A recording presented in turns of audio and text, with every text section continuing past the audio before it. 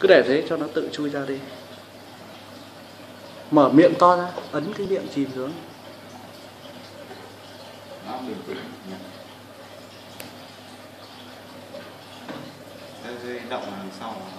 Hơi túm túm cái đít túi.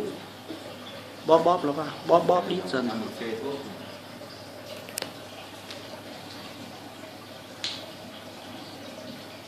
Thank you vâng phải băng con của ông cương ngày xưa. Da. Còn cứ mắt con này căng nhỉ? Bắt đẹp. Đóng vào nhanh không nhảy ra ngoài bây giờ. Nặng như là săn bắt cướp. Nhanh cũng nhảy ra ngoài thì chỉ lấy vợ rổ về lấy vợ về 7 giờ tối nó bảo lên tân hôn đi. Từ từ. Đâu nào cả của mình ô đèn có sáng này rồi không sẽ còn nữa.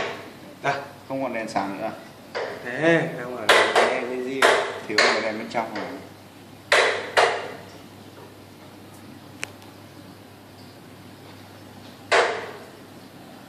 Con này tắt điện nhìn nó có vàng không nhỉ